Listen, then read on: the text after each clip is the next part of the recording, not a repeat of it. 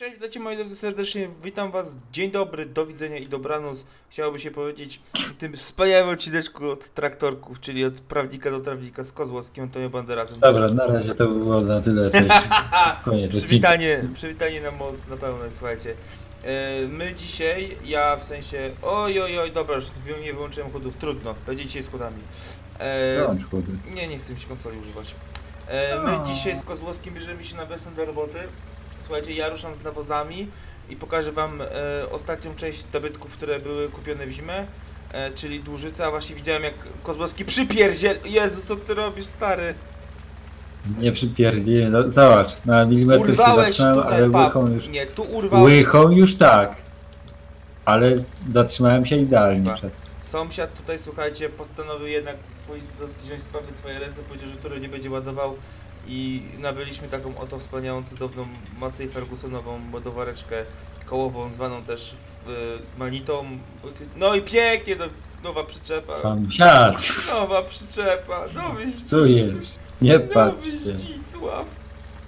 A ja, słuchajcie, biorę, biorę się za John Deere'a. Biorę John Deere'a. Jadę na drugie gospodarstwo. Nie mordo. No. Nie jest dobra przyczepa do ładowania na niej obornika, bo jest wysoka. Bo ja ty żeś tak to poje, podjechał, wiesz? Bo ty powinieneś... Jak podjechać- źle. A coś miałem ci w dołek podjechać tam jakiś? No Wykopać stary, czy- powinieneś wyłamać się i stanąć tak, żebyś miał po boku to, a nie. No dobra, ale jakie to ma znaczenie, skoro i tak nie mogę podnieść tak wysoko, żeby. Głupi jesteś. Słuchajcie, ja biorę się za nawozy, to znaczy jadę najpierw na stare gospodarstwo, znaczy na nowe gospodarstwo wróć. Tam sobie załaduję. Czy ty mi, Kozłowski, idziesz ze mną i to załadujesz mi? Ci załaduję. No fendem. Mogę ci załadować. Dobrze.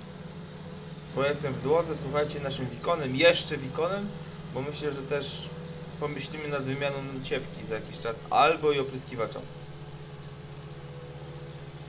Tak naprawdę mamy w planach taki też duży, znaczy w planach, znaczy plany mamy ambitne, skończy się jak zawsze. skończy się pewnie jak zawsze. No ale cóż, słuchajcie, to jest ta dawka startowa na zim, po zimie. Jeszcze widzicie delikatnie śnieżek próży, ale y, generalnie już możemy sobie wjeżdżać w pola, więc atakujemy, bo trzeba brać się za robienie wszystkiego i Eee, no, sąsiad, no. nadciążnik to chyba za lekki jest, wiesz? Bo ja tak średnio wyżej podniosę. Sąsiad, nie ma problemu. Ja ci podjadę. O, pięknie podjechać. Dobrze, słuchajcie, ja wam pokażę nasz nowy nabytek. Taka to dłużyca dwuosiowa Lebo, Lebroche, Lebush. Wspaniała, cudowna, niepowtarzalna. Mi się wydaje, że tutaj ile? Z 28 balotów wejdzie? 25? 24? Jak dobrze ułożymy, to będzie kit. Trzeba ją tylko przedstawić sąsiad, to... I to będzie kit. Dobra, ja podnoszę. Pani puści ręczny. Słuchaj stary, y, sieje na wszystko oprócz łąk, nie? A, łąki są chyba na maksa już. Ale mamy gnojowice jeszcze chyba oblaszegiem, nie?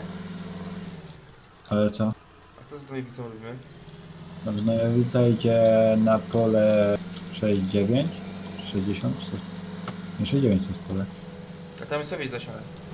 No tak, i to można na to jeszcze chyba, nie? Spalisz to stary. No nie takie. Tam nie wyrośnięte jeszcze jest ładnie. Podleje się piknie wy... Coca-Cola, kufa. Coca-Cola. Dobrze, jaką dawkę dać?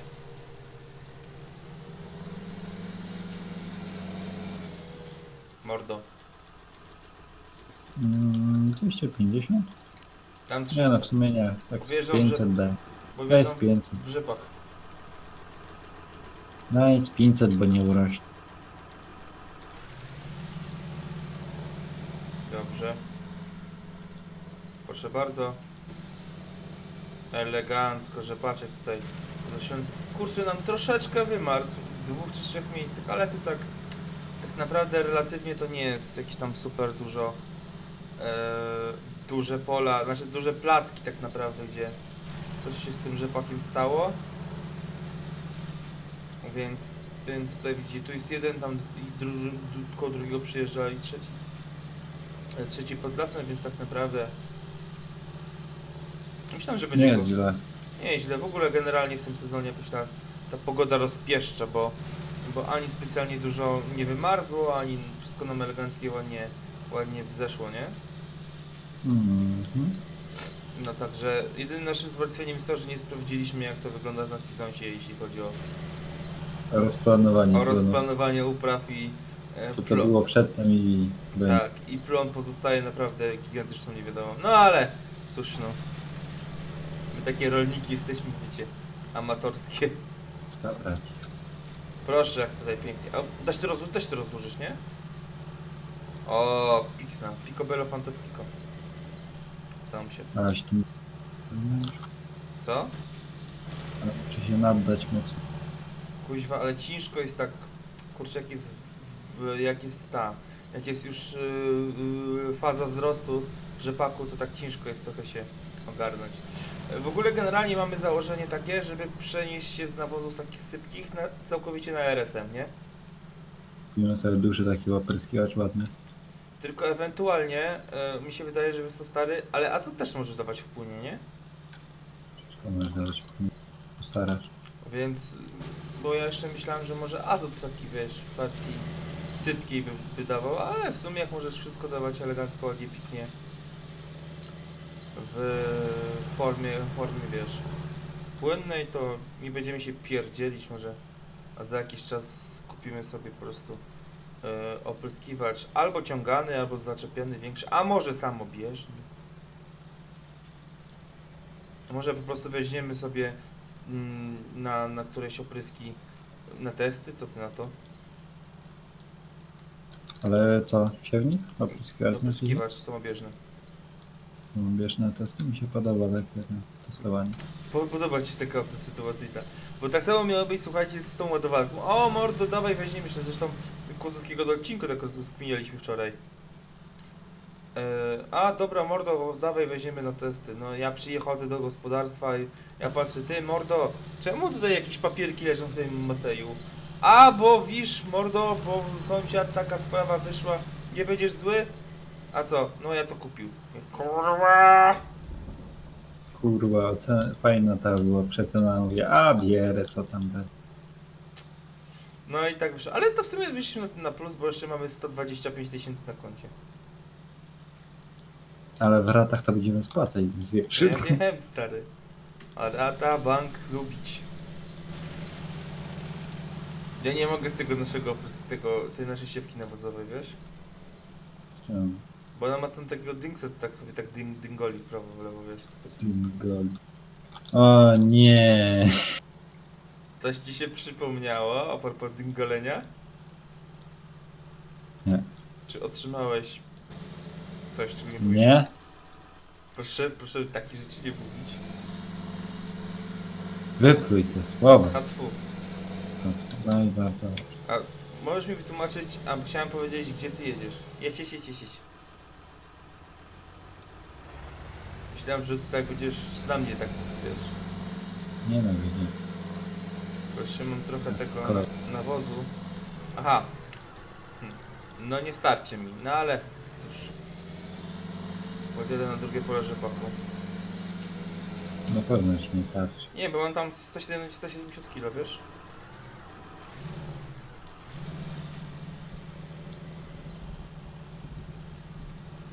Ale to wiesz. No przynajmniej rozsieję tyle, ile dam radę, nie? No tu myk okazuje się, że całe pole mogę rozsieć. Abym się uśmiał, wiesz? A tu taka beka. Eee, ja miałem ten obornik ładować, no. Właśnie. No bo trzeba go wywieźć z pryzmy tam, nie? No tak. Żeby krowy mogły znowu strać. Zresztą na to pole pod kukurydzę ma tam pójść, nie? Mhm. Tylko jeszcze... No, no, no dobra, w sumie miałeś rację, może przestawię tą szczytną dietę. Bo jak tak wyłamiesz się ciągnikiem, to będzie ci wygodniej to ładować, wiesz, od boku.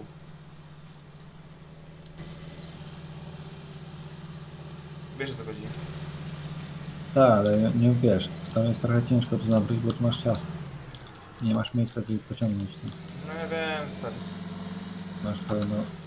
Kolejno. Znaczy narzucamy. Przystawki na rower. No, cóż poradzisz. Co poczniesz, co są. poczniesz? Nic. Będę ubolewał. Mordo, mamy problem. Hmm. To bym powiedział, że duży. Tam, Wiesz czym ja, wiesz czym jeżdżę? jak to?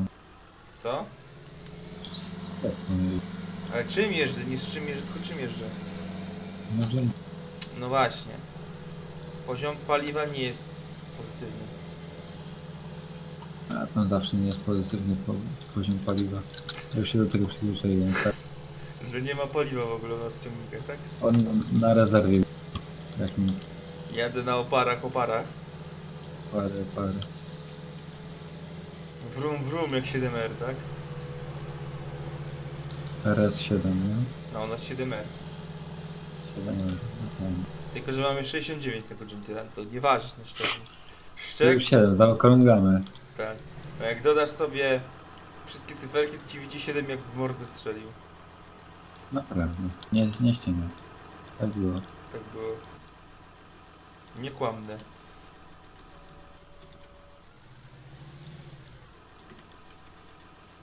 Naprawdę, mamo. Tak było. Dobra, elegancko, słuchajcie. Teraz tak. Muszę tu się wyłamać. Jadę na rzepak. Jeszcze co zostało? Owiec i pszenica do pchania. Cicho, Haniek! Heniek, cicho bądź! Żryć dostałeś, więc taki grzecznik twarz. Czy mordę, ryj w sumie. Możesz mi wyjaśnić, gdzie jest obornik z pierwszej przyczepy? Jakie pierwsze przyczepy? A bo ty się nie skończyłeś jej ładować? Ja dopiero ją naładowałem, stary. Okej. Musiałem powiedzieć, e, synek, chyba nam ktoś podpierdzielił obornik. Nie wysypał się, przywiozłem go z powrotem na gospo. Dobrze.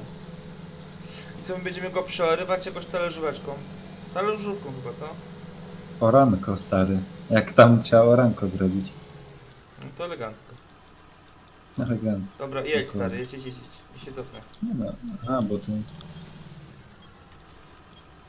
Ale ciężko się jedzie tym bydlakiem, wiesz? A, piknie, proszę państwa, piknie. Widziałeś jaki ładnie ruch przytrzymałem na awaryjkach? Oczywiście. Stary. Mógłbym kierunek włączać przy skręcaniu, ale już mi się nie chciało, wiesz? Za dużo rzeczy do ogarnięcia naraz miałem. No tak, nie zabić siebie, nie zniszczyć John Deere'ów dwóch. Przyczepę hamulce zaciągnąć, które nie działają.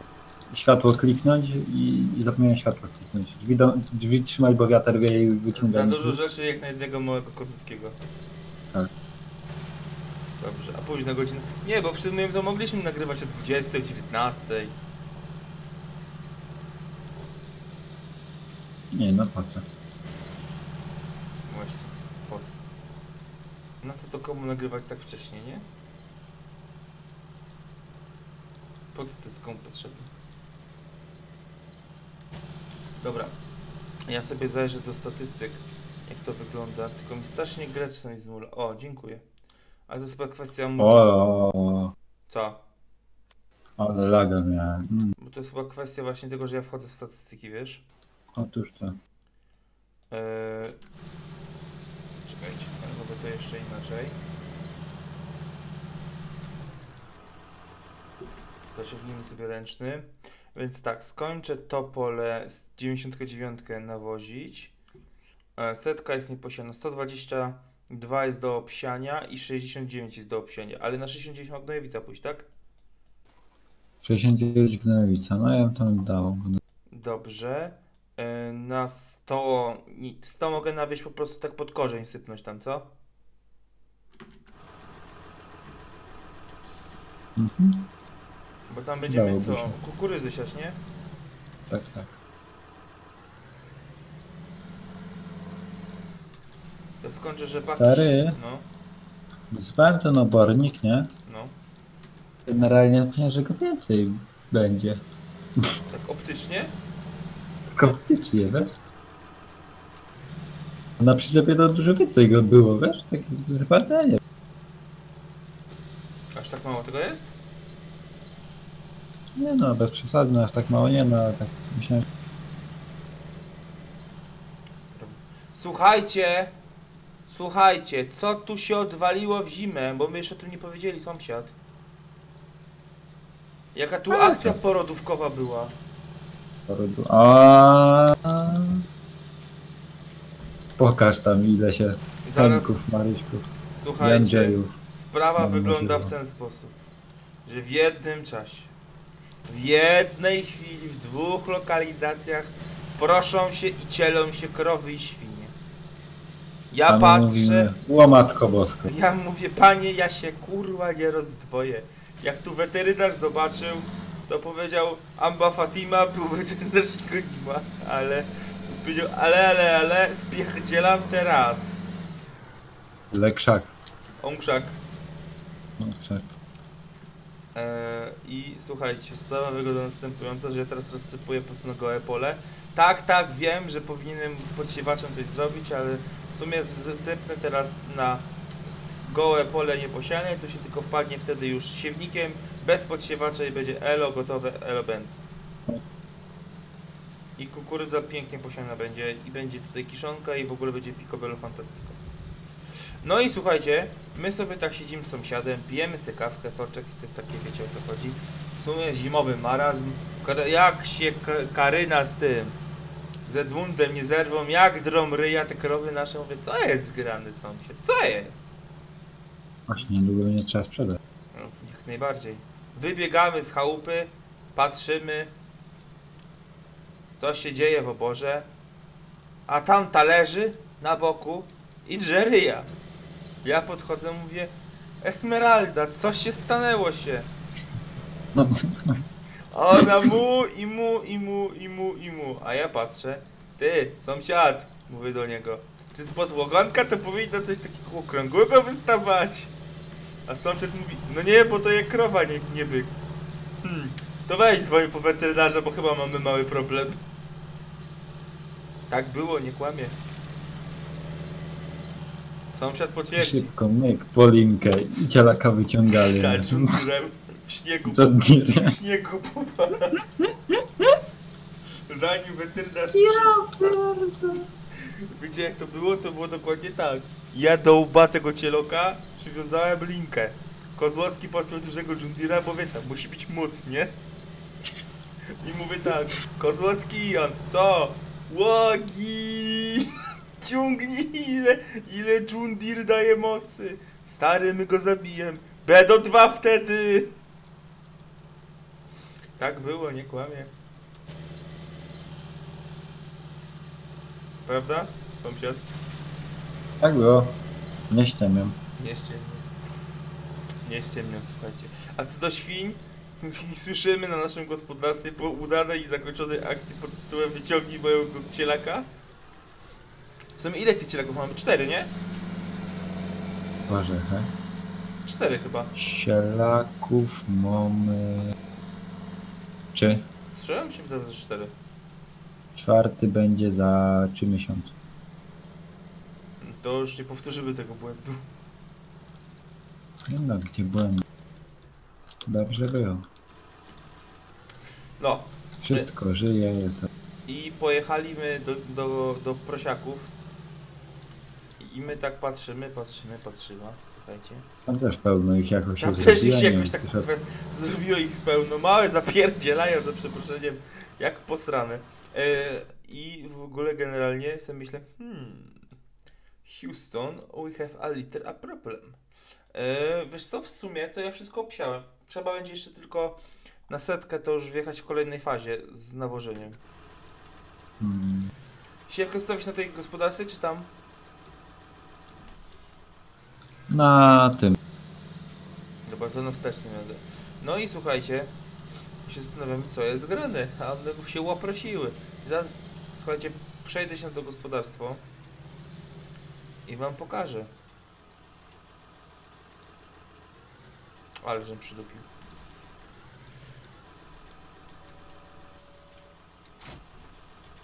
Rynsztyn zaciągnięty. Czekaj, ja się, ja się... Nie, takich rzeczy nie można pokazywać.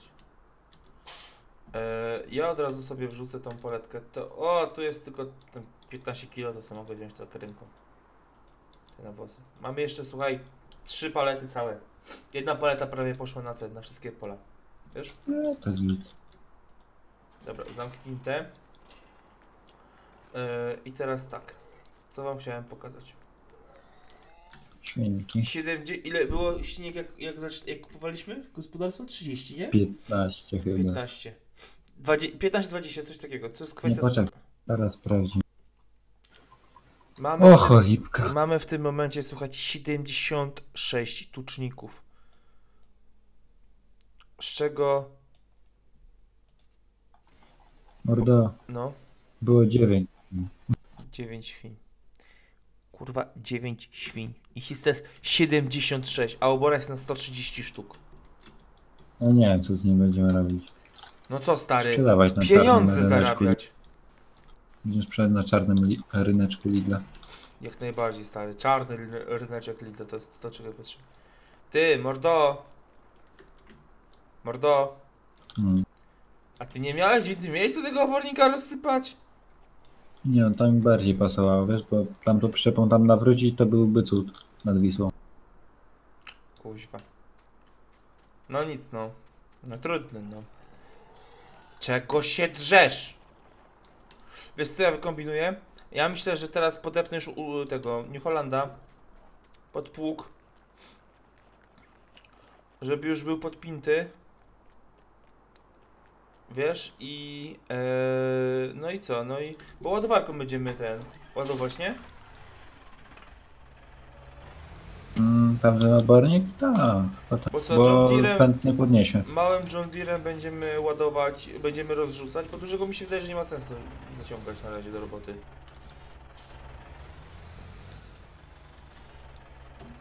Nie uważasz? No, skoro nie mamy, wiesz, tego rozrzutnika. Ty, morda, może wypo, ten, wypożyczę, kurwa, znaczy, kurde, jakiś e, e, rozrzutnik. Nie, opędzlujemy to tym naszym małym.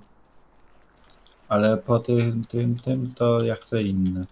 Ale no to jak już będziemy, wiesz, robili w tym sezonie, to się coś wykombinuje. No, jako będziemy obornik na zimę robić. Dokładnie.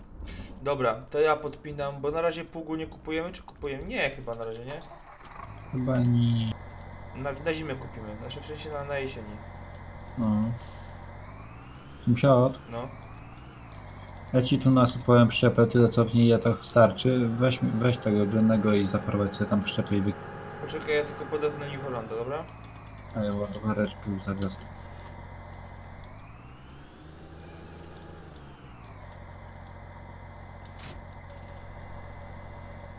Dobrze, elegancko.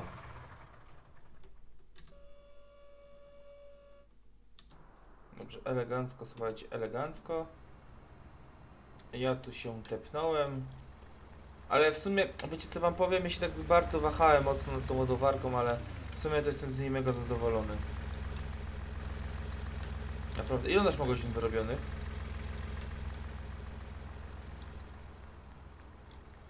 Ładowarka? No. Pół. No to wiesz. Okej.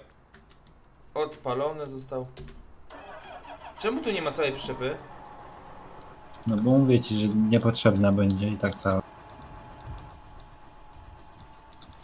Nie zużyjesz tam całej. Za małe pole. Poza tym i tak tam zostanie tego obornika, nie będzie wiadomo co z nim zrobić. Wiesz? Się wydaje. Mhm. Dobrze.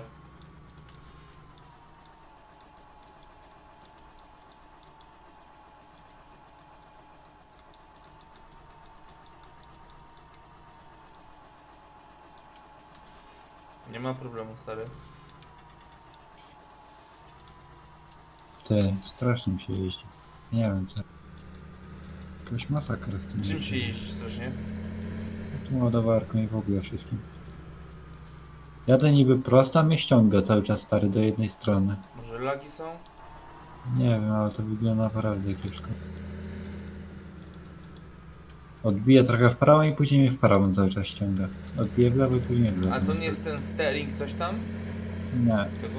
bo to zawsze wyśrodkowuje ci stary. Ale ta modyfikacja taka, to nie to? No tak, ale ona ci wyśrodkowuje zawsze do końca. A nie, że ci ściąga go cały czas później, nawet jak jedziesz prosto. Może. No przez lagi. tak. A ile masz pingu? Teraz 58. No i powinno. Nie no, zawsze trochę jest. Znaczy, to nie powinno wiesz aż tak mieć wpływu, nie? Chociaż mi się teraz ten Julier jak czołgiem jedzie. No dobrze, Co? no dobrze. Naprawdę.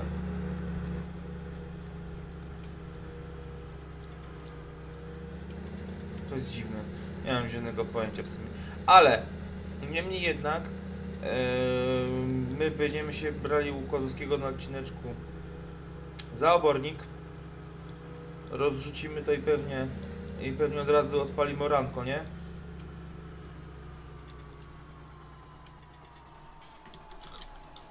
Hmm. Pewnie będzie trzeba. O matko boska. Co Ja. tam się wydarzyło?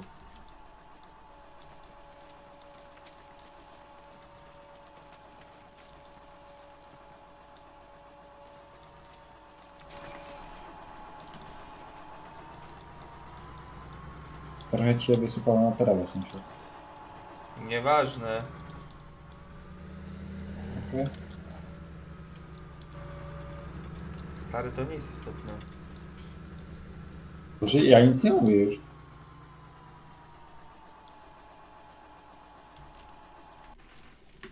No i tym oto pięknym akcentem, trochę gównianym w sumie. Ale cóż, z Antonio Banderasem, ty, ale sobie fryzę żeś zrobił, stary. Mhm. Ale wiesz? Wiem, że czasem opłaca się jednak iść do fryzjera. No, w sumie. I skończymy ten odcinek, mam nadzieję, że wam się oczywiście podobało. Proszę tutaj, słowiański. Ty kuźwa masz różowe buty, stary. Nie wiem. To mi od koszuli zaciągnęło, bo wrzuciłem razem do prania, wiesz? A, okej. I tak Ja spoglądam na tego naszego byka i patrzę, że człowieku, tutaj chłodnica jest większa niż kuźwa u nas w kombajnie. Nie no, bez przesady, ale większa od naszego telewizora na pewno. No, jak najbardziej. Słuchajcie, to by było na tyle. Mam nadzieję, że się podobało. Trzymajcie się, zostawcie łapeczkę, komentarz oczywiście. Subskrypcję, wejdźcie do sąsiada i trzymajcie się na razie. Hej! Pa, pa.